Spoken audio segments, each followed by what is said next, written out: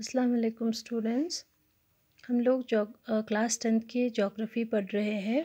तो इसमें बच्चे आपका जो हमारा नेक्स्ट चैप्टर है, इससे पहले वाला चैप्टर हमने कंप्लीट कर लिया, जो हमने वाटर रिसोर्स पढ़ा था, चैप्टर नंबर फोर, ठीक है? तो आज हम स्टार्ट करने वाले हैं नया chapter, mineral and energy resource, जो आपका फिफ्थ चैप्टर है जोग्राफ़ी में से, ठीक है? तो बच्चे, इसमें मिनरल एंड एनर्जी रिसोर्स ये आपका हो गया फिफ्थ चैप्टर और मिनरल एंड एनर्जी रिसोर्स के बारे में हम पढ़ेंगे, ठीक है?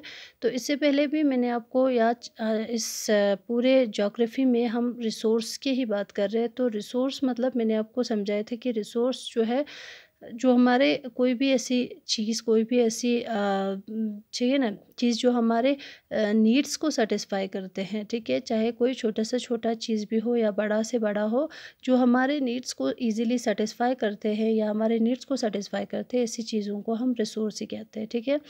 नाउ आज हम देखेंगे कि मिनरल एंड एनर्जी रिसोर्स ठीक है? मिनरल और एनर्जी ये भी हमारे लाइफ में बहुत ही इंपॉर्टेंट रिसोर्स होती है, ठीक है?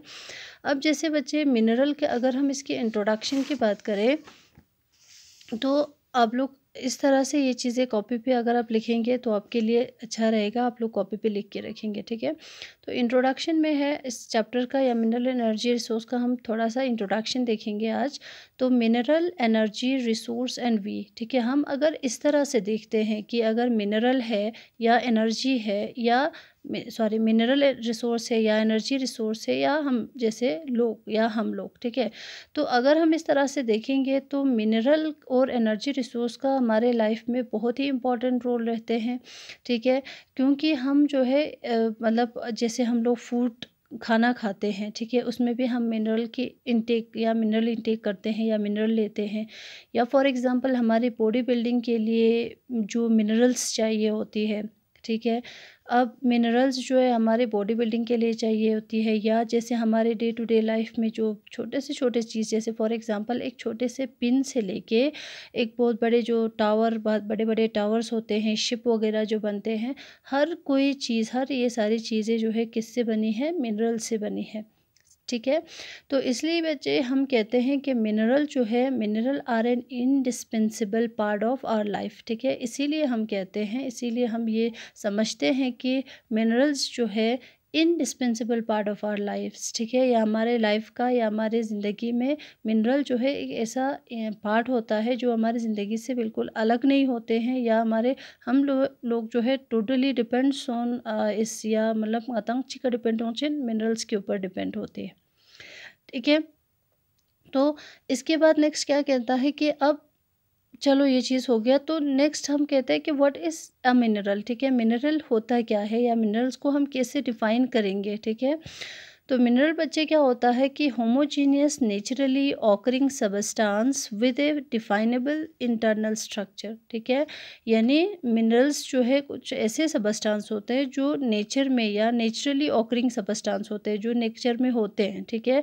और दूसरी चीज़ ये भी है कि जो भी मतलब मिनरल्स नेचर में है, ये इसका जो है, हम इसके स्ट्रक्चर को ईज़िली हम डिफ़ाइन भी कर सकते हैं। यानी डिफाइनेबल स्ट्रक्चर होता है। इसका मतलब क्या हुआ कि मिसाल अगर सॉलिड है, लिक्विड है मेटेलिक है नॉन मेटेलिक है, ये सारी चीज़ें जो है हम इजीली डिफ़ाइन कर सकते हैं मिनरल्स का। अब बच्चे जो मिनरल्स जो होते हैं, ये जैसे फॉर एग्जांपल मिनरल्स क्या चीज़ है या मिनरल क्या होता है या ये चीज़ हमने समझा कि मिनरल जो है नेचुरली ऑकरिंग सबस्टांस होते हैं। इसमें से एक अगर हम रॉक लेते हैं तो रॉक भी क्या है? एक मिनरल होता है, ठीक है?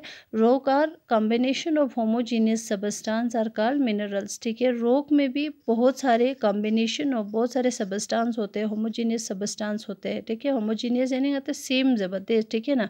यानी साइंस हासिल तो होमोजीनियस या हिट्रोजीनियस सबस्टांस है, ठीक है? तो होमोजीनियस हो गया, जैसे जो सेम सबस्टांस है या कम्बिनेशन ऑफ़ बहुत सारे जो सबस्टांस के एक कम्बिनेशन होती है रॉक तो इस चीज़ को भी हम या रॉक को भी हम मिनरल ही कहते हैं, ठीक है?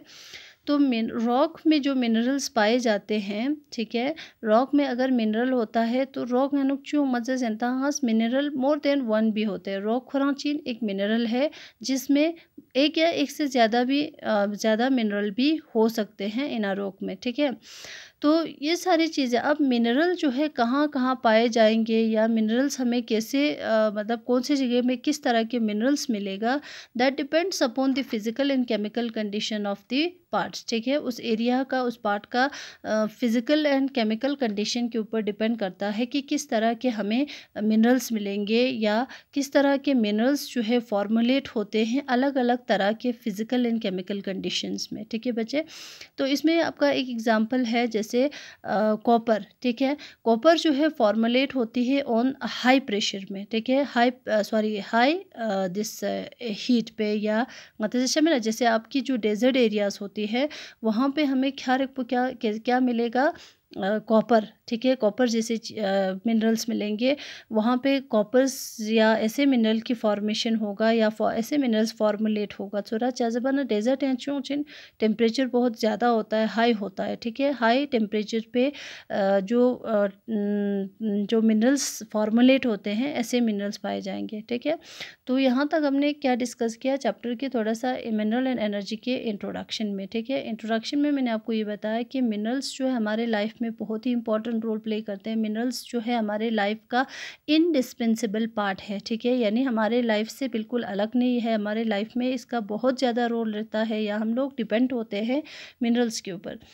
तो मिनरल में जैसे इसकी डेफिनेशन भी आप लोगों ने समझा कि नेचुरली ऑकरिंग सबस्टांस होती है डिफाइनेबल इंटरनल स्ट्रक्चर यानी इसकी स्ट्रक्चर को हम इजीली डिफाइन भी कर सकते हैं कि ये सॉलिड है लिक्विड है, क्या है, ये सारी चीज़ें, ठीक है? तो इसमें एग्जांपल हमने देखा, एक एग्जांपल आपका रॉक रॉक भी क्या होता है मिनरल होते हैं, ठीक है? तो रॉक में बहुत सारे मिनरल्स भी मिल सकते हैं ठीक है? रॉक में एक या एक से ज़्यादा मिनरल्स भी हमें देखने को मिलेगा, ठीक है? या मिल सकता है। अगर मिनरल्स अब हम यहाँ पे क्या है कि मिनरल की फॉर्मुलेशन कैसे होती है या कौन सी जगह पे किस तरह के कंडीशन में, ठीक है फ़िज़िकल या केमिकल कंडीशन में हमें किस तरह का मिनरल्स मिलेगा, ठीक है? तो वो उस एरिया का यही मतलब जैसे मैंने आपको बताया फ़िज़िकल एंड केमिकल कंडीशन के ऊपर डिपेंड रहता है, ठीक है?